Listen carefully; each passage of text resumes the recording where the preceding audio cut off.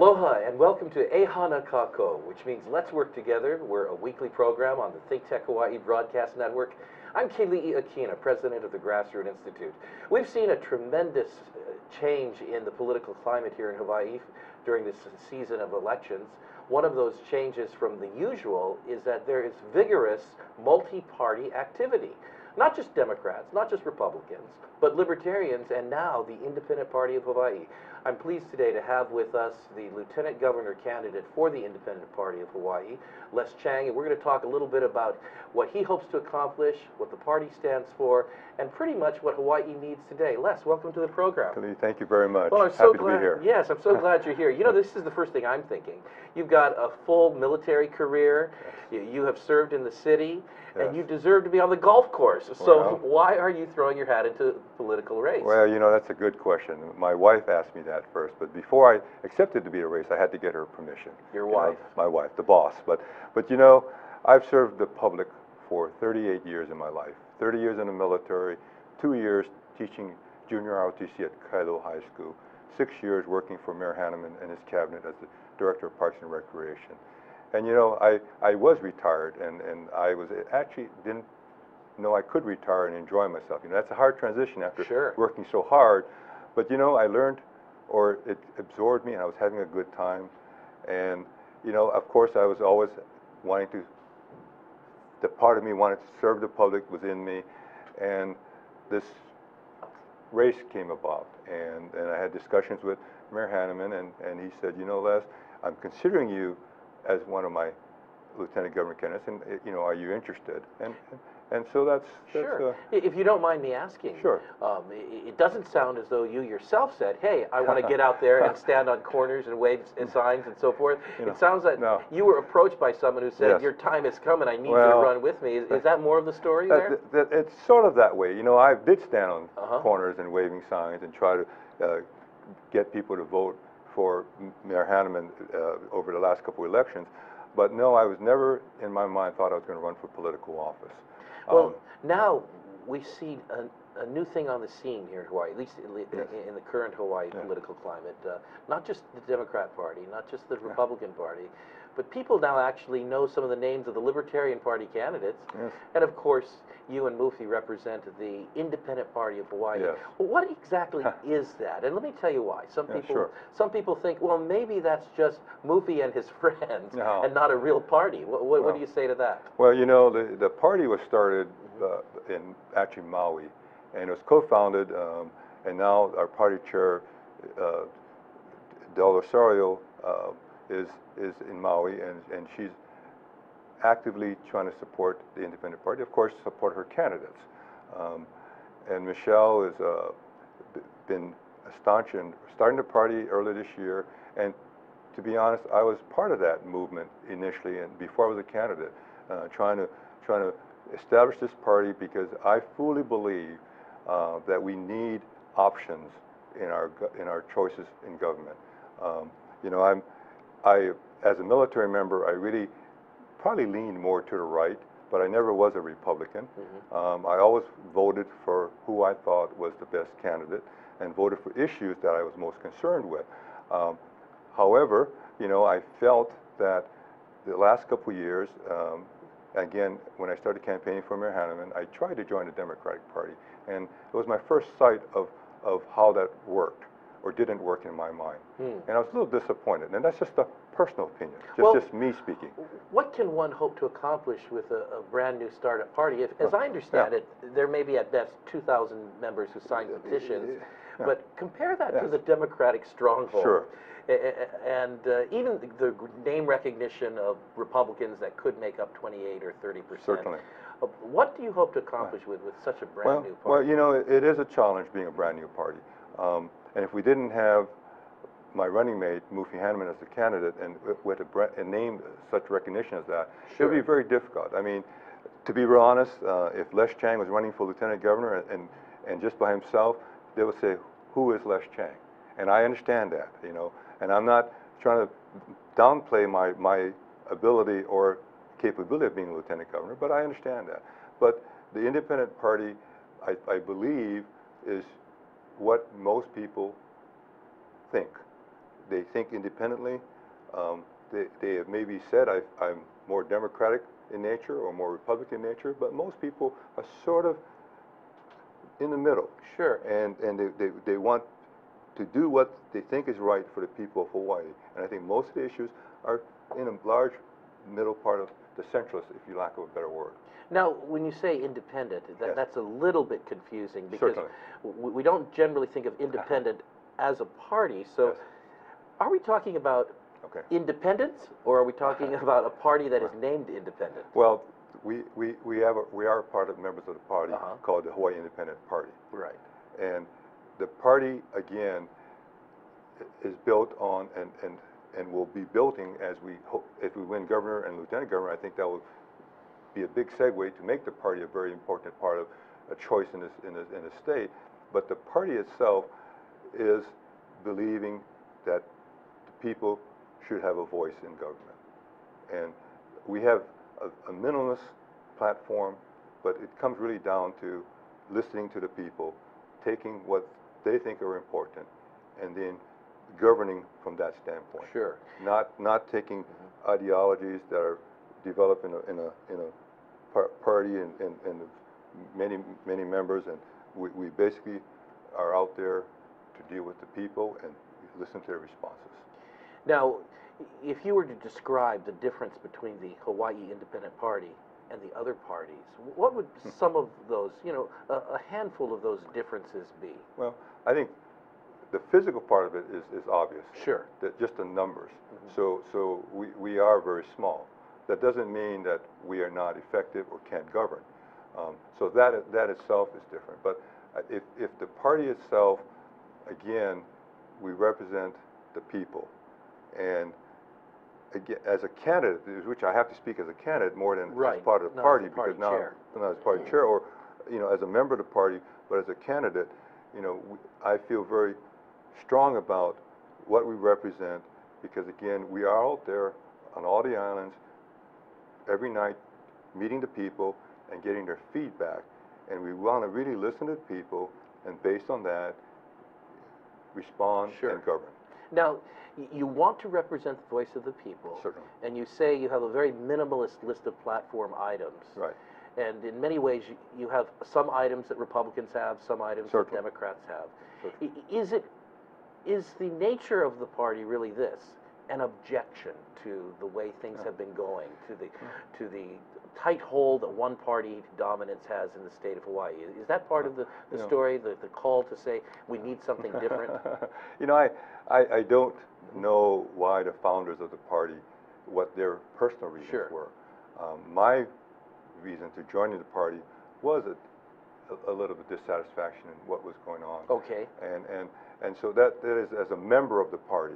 Um, I, I can't share what the other members feel about being an independent party member, but I know I felt very excited about the party because I felt that there was a mechanism, a vehicle, and if we can grow, that I think should offer a choice in, in Hawaii.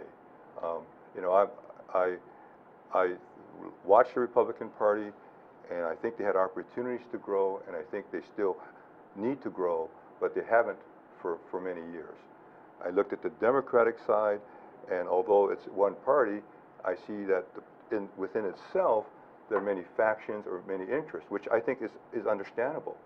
Um, but I feel that they have sort of lost the center balance of serving the people of Hawaii. I, and, I, and I'm not saying that they don't care. I think they're very good individuals. I'm talking about the party now, not individuals.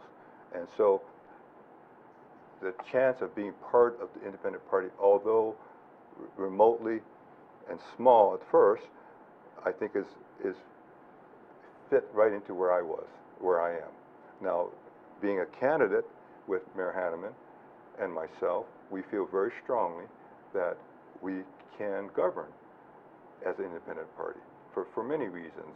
As, you know, when I worked with him at, in the mayor's office and I was a cabinet member, the mayor was elected as a nonpartisan.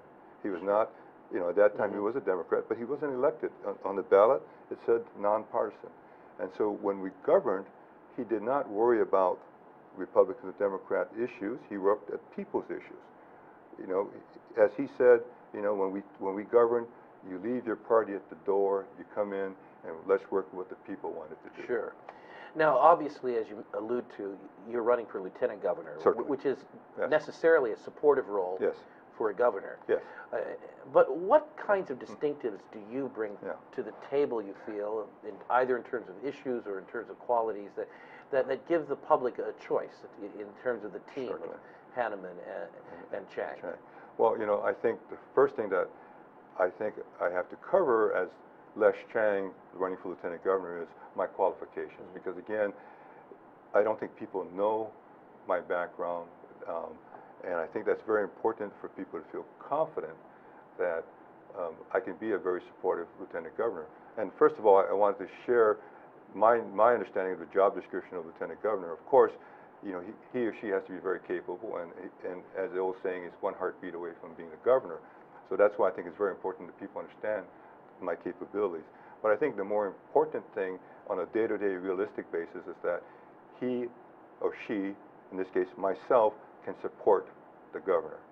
Uh, so let me take that two parts. Let me cover a little bit about where my where I come from and my qualifications. Uh, you know, I, I retired from the military, serving 30 years uh, in the Air Force, and in the Air Force, a lot of people used to say, "Did you did you fly?" You know, and in fact, when I was in the mainland or overseas, when I was from Hawaii, you know, they always asked if I surfed and did all those things. It's, it's a typ- typical stereotyping, but within the Air Force or the military, it's like a it's like a community, a, a mini, where every every aspect of uh, jobs and, and support needs to be done. I was very fortunate to to be in what they call a personal services or a people's business where we provided the services to what I consider the most important resource in the military is this military member and their families. Because if they are not satisfied, kept well and healthy, they cannot do the job, kept the mission. If their family is worried about mm-hmm. their child care or other issues, then the person cannot concentrate on the job. So my role came in in the military was I was developing community programs and ran community programs wherever the installations was. And, and from that standpoint, you know, uh, there's four elements that, that I think the experience that I had are, that are unique to being a retired military officer. One, I had tremendous financial management experience. Um, in a government, you have appropriated funds, taxpayers' dollars, but Right. in my case, I also did what was called non-appropriated dollars, where you actually ran a mini business of trying to generate revenues to pay for some of the programs, such as child care centers and the clubs, the golf courses, bowling centers, you name it, uh, fitness centers. Um, had my fingers in almost everything that people do. Um, the second part about that is people management. Um, I had organizations as large as 8,000 people work for me. So when you're doing that through an HR organization or whatever, I had the military members I had the civilian members. I had overseas nationals working for me. So all of that was, in a sense, complex. It, it sounds like the logistics that you dealt with, the human relations you dealt with, the corporate Certainly. leadership. Corporate uh, leadership. uh, fit very well when you went to the, the city That- and correct. headed Parks and Recreation and, and that's, similarly. you know, with that. So there's a strong management background Exactly, there. the management, the leadership, the facilities, not only the day-to-day maintenance, but figuring out how the capital program, and I'm talking many, many facilities. Some, Mm-hmm. some years we have a hundred million dollar budget in, in the capital side, and some of the programs I had. But that set me up to be hired by Mayor Hannemann as his Parks and Recreation Director. And you continued in a very complex organization. Yeah, very complex, yes. We're going to take a break now, but, but thanks for sharing that background and information. We're, we're with Thank Les Chang, who is Lieutenant Governor candidate for the Hawaii Independent Party. And we'll be coming back right after the short message to talk a little bit more about what the, he hopes to accomplish along with Hannemann as they run for the state's top two positions. I'm Keli'i Akina with the Grassroot Institute on the Think Tech Hawaii Broadcast Network. We'll be right back after this. Aloha, my name is Daniel Luke, and this is my co host, Ing. We'll be here every other Monday on New Media, The Bleeding Edge on Think Tech, talking about the intersection of social media and the news. We'll cover technology, trends, and other fun stuff. Did I leave anything out? Well, I'm here to keep you honest, so that's my job to remind you of everything you've forgotten and uh, to challenge you at every point. Excellent. My wife tells me that I'm wrong about quite a lot. Go. Welcome back to Ehana Kako, a weekly program on the Think Tech Hawaii Broadcast Network. Uh, today I'm talking with Les Chang, Lieutenant Governor candidate uh, for, uh, well, for office this year, 2014, running with Mufi Hannemann, who's been on this program before. We're going to dive right back into the conversation and now talk a little bit about what he and uh, his running mate hope to accomplish. Les, uh, this is uh, an exciting time, isn't it? Yes, it is. And well, so Mufi called you, you stepped up to the plate Yes. a- and decided to work with him. Uh, what exactly does the team stand for in terms of bringing to Hawaii? What, what- what is it that is the distinctive that the Hannemann Chang team hopes to offer in a Yes. future Hawaii? Well, you know, I, I think a lot of it has to do with our, our executive capability. As I was explaining just before the break, uh, the background that I bring. Um, you know, joining with Mayor Hannemann, um, we, we feel we're the only team uh, that has the ex- ex- extensive executive management experience that is required to run the state as, as the governor and lieutenant governor. I mean, for instance, the state has over 50,000 employees. It's, it has huge multi-billion dollar budgets. And, you know, and the mayor ran the city and had 10,000 employees and, and, and, and multi-million dollar, billion dollar budgets. I ran an organization that had 8,000 employees when I left, when I retired, and had uh, annual revenues of 1.1 billion dollars. And what that, what that says is that we have the experience in what it takes to run large organizations that require fiscal management and, and good, prudent business sense within the government. Because I think that's what the state needs now. Um, you know, I, it, it, just as a matter of comparison, I mean, in the previous administration, there was a person that was the current governor who was in legislative background. And there's a big difference coming as a legislator and then all of a sudden being given the, the reins to run Sure. the government. Um, you know, so we feel that we have the executive background. Of course, we feel we can have a new approach to many of the issues that have been struggling and challenging to Hawaii and not come up with the same old, same old.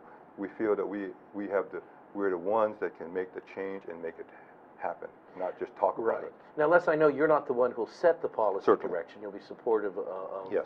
the governor's policy Right. direction if you're elected. yes. But, but if you don't mind, I, I just want to throw out a, just a, a couple of areas that, that may be germane to the background that you're talking about of administration. Uh, one of the major problems facing the state is our budget for state government, as Yes. well as the unfunded liabilities we have for our government pension programs, our government health care programs for Yes. retirees and so forth.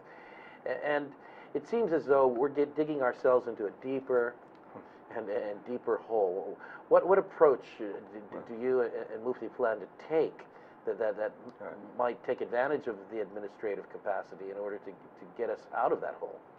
Well, you know, again, as a lieutenant governor, I have to overemphasize that it's not, I'm the one that sets the, the pace, the, the governor sets the pace, and I'm there to support him.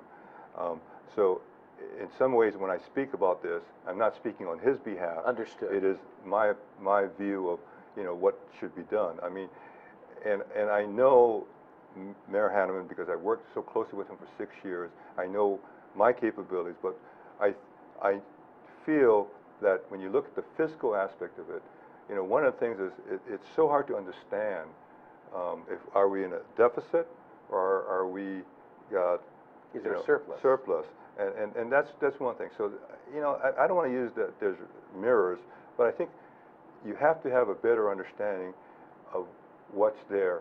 And, and everyone uses the word transparency. So I'll use it also, but I, I, I- I mean it in a sense that you cannot make executive decisions in the dark. You cannot decide on important things um, without knowing where you are. So I think that's very important that we get our hands on what is there. I mean, and that way you can then prioritize what you're doing and take on the things that we, we feel that are important. But you have to get an assessment of where you are. I'm not talking about taking an audit. I- Overall, we may have to look at certain things. I know when the mayor came in to the city and when he took over and I was a department head and I heard about, he brought in these, the, the, a, a, um, review team of, of people, not taxpayers' dollars. And at first I said, well, why are we doing this? And then I realized the wisdom of that afterwards because they were able to see it with fresh eyes, look at where we were, reprioritize, and give suggestions to the mayor. And, and I, and I welcome that. At first, you know, there's resistance to having that approach because you think, gee whiz, you know. And of course, I was also the new director, the people that I worked with, there was a lot of concern. But there was a lot of wisdom in that because it gave us a great roadmap on where to go and what to do. And I think that's what we need to do in the state. I mean, there, it's, it's, there's so much going on, but are we all understanding where it's going and is that where we want to go? What do you think one of the most important problems we have in Hawaii is that, that government can do something about? We have mm-hmm. government, and, and it's certainly trying to pave roads. It's certainly trying to, Sure, sure. to make elections go smoother, and all of these issues are important. But, but what's a very important thing we have to, we can expect our government to take care of, or we should expect, and the government can do? Well, you know, I think I have to go a little philosophical on that mm-hmm. because I think what is government? Government is for the people. Right. And I think that what is most important is the physical things of paving a road, fixing this park, doing that. That's all important. But I think what the government needs to do is it's the only one that can look at an issue and respond to something that individuals can't do. It's the only one that can look at it in the bigger picture and involve private, community, and government and, and go ahead and work on something that is important to the community. So I think government is the, the glue of, of all of that for the community's benefit, the common ground for the common good. How can we use government in a way to build our economy? Uh, ri- Right now, I I don't know about Yeah, you, but I've right. got, we have four children. Three Sure, of them are on the mainland and not likely to come back That's until they can afford that house here in Hawaii. It's seven hundred thousand dollars. By sure. that time, it's probably a million dollars. Um, And, Right. and so forth. We all know the cost of Right. living here, housing, fuel, Sure, sure, uh, everything. You know, What role can government play? What would you, Well- you and Mufi like to see take you know, place? I think when we talk about government, it's always cut, cut, cut to meet the budget. I think, you know, as, as my previous background that I alluded to, part of the business aspect of it is to grow the economy, as well as to, to be sure whatever you're spending is most efficient in what you're doing and you're not wasting the dollars. I mean, to me, a taxpayer's dollars is my dollars and it's your dollars and it's everyone's dollars. And so you have to look at it like it's not a, you know, a unlimited account. You have to look at it like it's your own money, you know, because it is our money. And, and I, so I want to see it being used efficiently. But you have to grow the economy also. And, and so, you know, again, tourism is our uh, but you have to grow that in a sense that there's other opportunities. You know, I'm really happy to work with Mayor Hannemann because he has all that background, being part of that industry, and have worked at, and he has more contacts in the Asian Pacific area than I think most people would realize, and, and we have to look at that aspect to grow our economy, just not within. So Sure. I think that reach, that connections that he has with I think will, will help us grow the economy. Um, there's, you know, agriculture is, is kind of a sleeping giant here, and I think the diversified agriculture has to, has to grow and move. And let's not forget the military. I mean, the military, we can't take it for granted that they're here. That's our second major, I hate to use use the word industry, but from a standpoint of revenues coming into the state, that's the second leading entity. And so we can't take that for granted. And as my background as being the only veteran in the gubernatorial lieutenant governor's race, I had a, a tremendous amount of expertise and connectivity that I think that will ease that and, and, and keep that connection and understanding, bring it into the state executive office. Hmm, Very good. Now, what about education here? I, I think Yes. that, that's a growing concern of all Yeah. of us. And, and we've witnessed over the past few years uh, attempts to bring about systemic change Yes. that, that that are somewhat baffling to the public as, Right. in terms of whether or not we're getting Yes. bottom line results. Uh, it- what is the, your, your thought and standing Well, on the education issue, Hawaii's you know, public schools?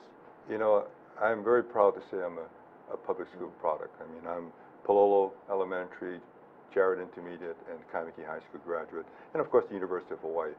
So you know, my heart is into public education, and you know, I, I, I and I also spent two years in between these jobs teaching at, at Kailua High School, and you know, there, there are so many outstanding professional teachers that I know out there. And I know the administrators, and they're all working hard and trying hard. But you know, it's very frustrating. I think they feel that they're, you know, it's, they're not able to teach with with the energy and the time that they're given with with the students.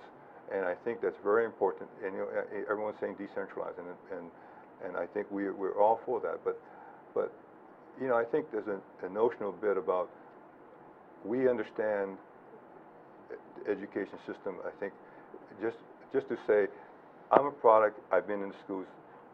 Mayor Hannemann goes to the schools, 25 to 30 schools every year, from read aloud programs. He offers scholarships out of his pocket. He does a book award, and he also takes a team, All-Star Girls, on a scholarship. Uh, excuse me, on a team to play basketball. But the reason I say that is that we we think that's the most important thing. When he was mayor, and I was one of the departments, but he always said the number one job I have as a mayor is public security. So, excuse me, first responders. Educa- Ed- yes. And then, as the governor, my number one responsibility is going to be education. So that's going to be up on our plate. And and he has many ideas, and it, I don't think it's for me to s- explain some of his ideas, but I support it 100%. And you know, Hawaii w- I'm very proud of education, public education system. And I, and I do want to share one story that I think Mufi's been talking about. You know, two years ago, he, he was at Molokai High School, and one of the students there said, you know, I want to go to Harvard. And, you know, everyone, you know, he knew Mufi was a graduate of Harvard. And, you know, and Mufi tells the story, says his story. He says, you know, at first I thought, gee, how can a, a- a- a young man from Molokai High School go to Harvard? But he said, who am I to hold that against him when my mom told me when I was in Kalihi that I want you to go to Harvard when I was fourth, fourth grade. Bottom line is that he found the support of his teachers, his parents. He gave them some advice on what to do, come to school here in summertime. He gave them some assistance in a job at the summertime. And guess what? He went to Harvard, history from Molokai High School, and he's still there doing well. And Mufi just saw him when he went to visit the island uh, a month ago. So, you know, that really opens my heart to know what people can do. And in my year, when I was there, just many years ago, you know, uh, my friends, one of them went to MIT, the other one went to Brown. Of course, I went to the University of Hawaii, but you know, nothing wrong with the public school. I think it's the application of the student and the support that the governor, lieutenant governor needs to give to the schools to, to give the teachers and the principals what they need to invigorate, educate, encourage success. How do we bring some of the disparate parties, the, the, the, different groups that have their hands as stakeholders in our education system, how do we bring them together? For example, there's got to be a working relationship between hmm. the, the, the, the public and the union, Oh. the government and the unions, and, and, and oftentimes things come to a stalemate because of the inability to bring these groups together. Your thoughts? Well, you know, it, it's, again, one of the reasons I'm running with Mayor Hannemann, and I'm so excited about this, is his leadership style of collaboration. And I think that I've seen him in action, working, pulling people together, and and working the issues out. Um, you know, looking at from a management standpoint in this case, or if you want to look at it from a labor standpoint, administration, teachers, looking at it from the funding aspect. But I think what's important is getting out there and leading and, and, and supporting it. One of the, I'll share another idea because he's been espousing this often, is that when he chooses the Board of Education direct, uh, he wants to ensure that they all will guarantee him that they'll visit a school at least once a month.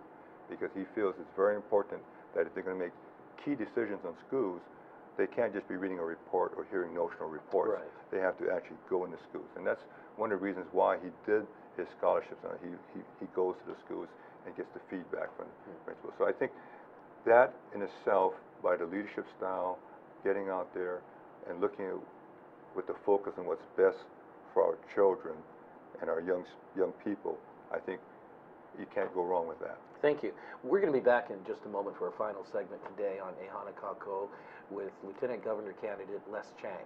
Uh, but first, let me say thank you to Think Tech Hawaii Broadcast Network and, and all of the wonderful staff, the team, Jay Fidel, the producer. You're doing a great job.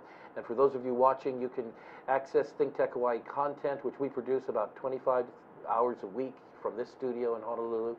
You can see it at www.thinktechhawaii.org or .com, thinktechhawaii.com. We'll be right back after this short message. Don't go away. Aloha, welcome to Think Tech Hawaii. My name is Josh Green. I'm the host of a program called Healthcare in Hawaii. I'm a physician. I work in the emergency department on the Big Island. I also serve in the state senate, which please don't hold that against me, doesn't detract from my television program. We speak about all the big healthcare issues in the state. We get together on Tuesdays from 2 o'clock till 3 o'clock in the afternoon, and we try to talk about the most important issues in healthcare. This is a terrific venue for people to learn about healthcare. There are many programs on this on this station. We broadcast it later, uh, not just on the internet, but also on OC16. Thanks for joining us. Please be informed healthcare consumers.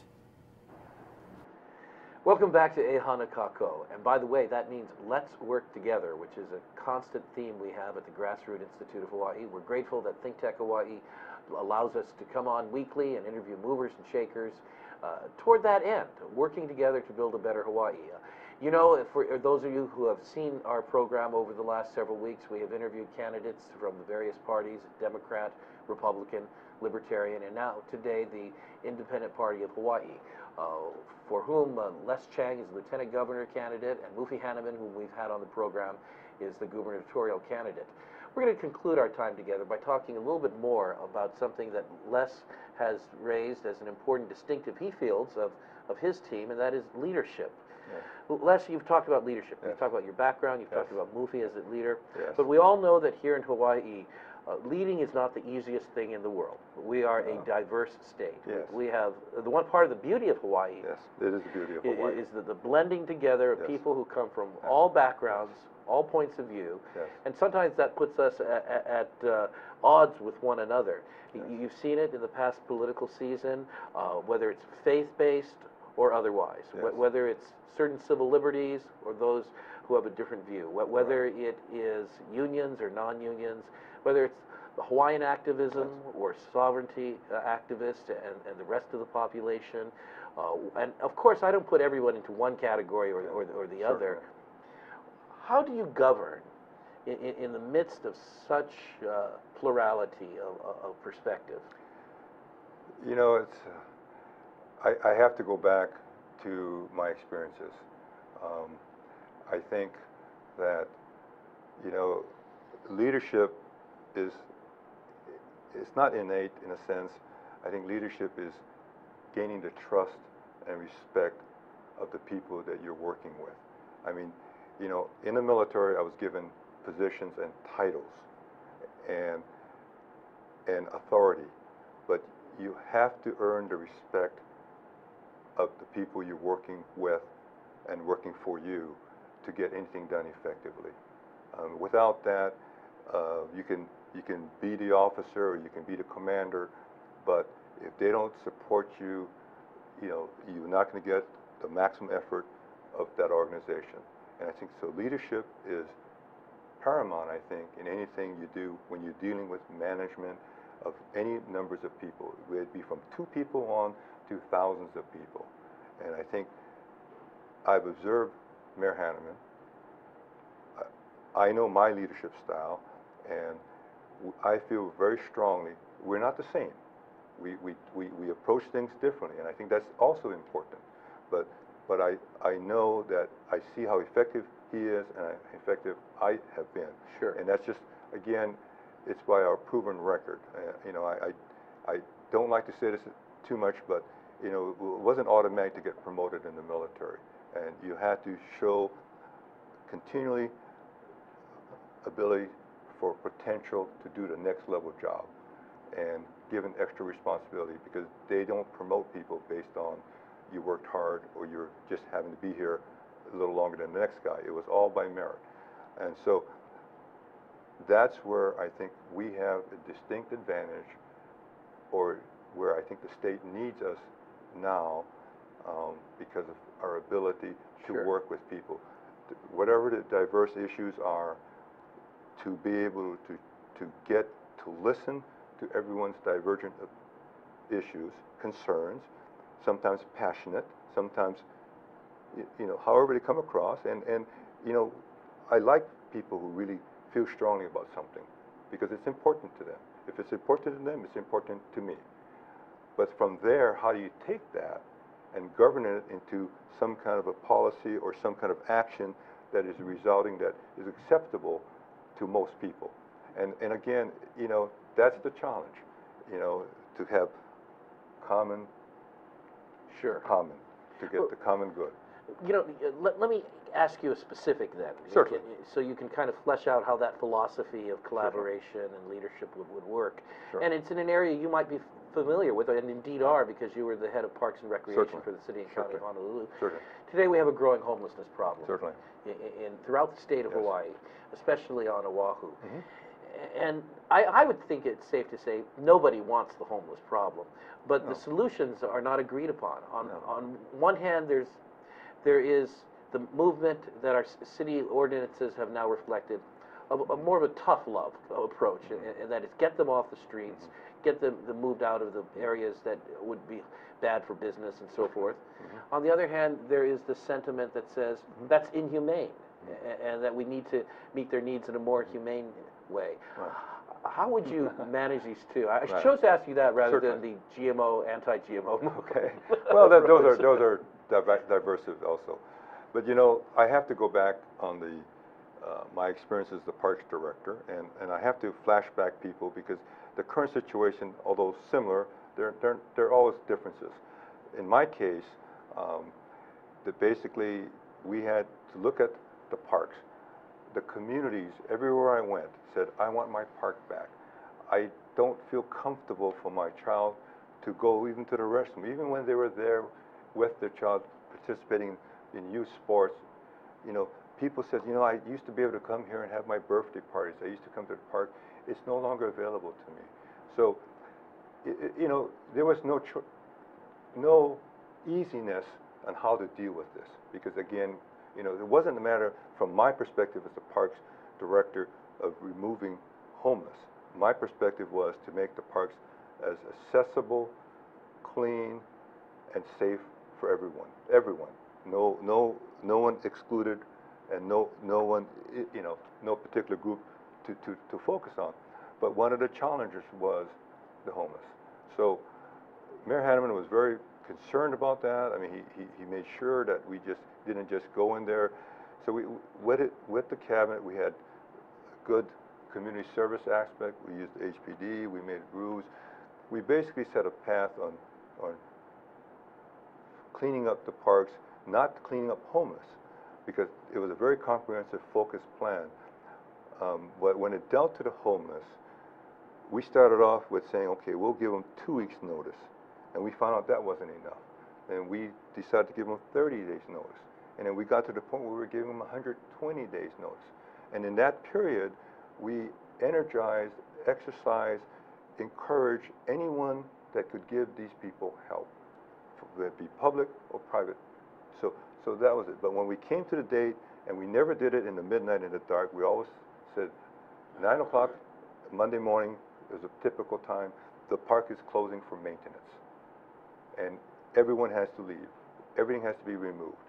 And, and so when we went in there at 9 o'clock, in most cases, they moved.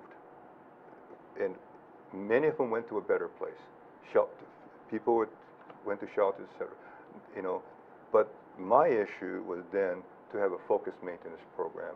We went in there, I pulled maintenance people from all over the island because I said, we, we did this park on the windward side, next time we'll do one on the leeward side. So basically, everybody got their share. But what we did was not just we, we, we went in, made over the the comfort stations.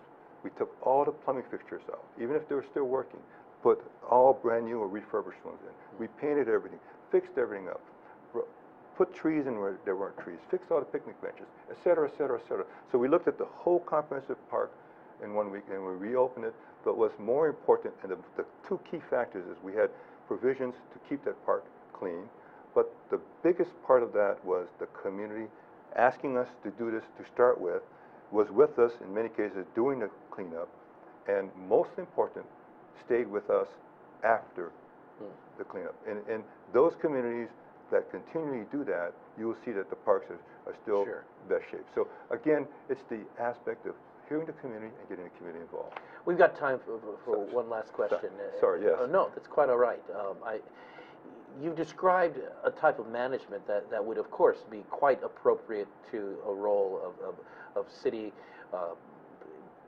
manager or the mayor. But now, z- zoom Sure. ahead. Let's say Certainly. we're talking about the governorship and lieutenant governorship, and you prob, I would guess you've had some conversations with Mufi about what kind of role the lieutenant governor would play. Um, Benjamin Franklin said the, the vice president should be entitled His Superfluous Excellency. what what Yeah. would you see, just quickly, as, as the role the lieutenant governor should play? You know, I, I think one of the beauties that Mufi and I worked together six years. So he knows my strengths, he knows my weaknesses, I know his strengths, and I know what he expects out of me. So that, that's, that's the good part, because in a lot of cases, the lieutenant governor gets put in his office, and he's only called on when needed. Right. I plan to be, and I'm going to be offering myself to be very active in the administration. And Mayor Hannemann is, is, we've talked about possible duties that I would have. Like, Of course, as the military says, as assigned. And I know that whatever given, I will do my best and make it better than what's given. But we talked about some specific things based on my background. Of course, the military liaison, looking at all the veteran affairs. We have about 120,000 veterans on, in the state, and, and, and making sure that the linkage of what they, they have in the state is, is done very well, and as well as linking them with any other services in the federal, federal sector. Um, looked at possibly uh, being a little liaison in the University of Hawaii because I'm, I'm a graduate, and of course I'll be very passionate for that. Um, looked at maybe because some of my other backgrounds in non-appropriated funds and other things, that assisting the nonprofits a little more, uh, because I think that there's some frustration out there in that area, and, and people don't understand that the nonprofits play a big role in Correct. Hawaii.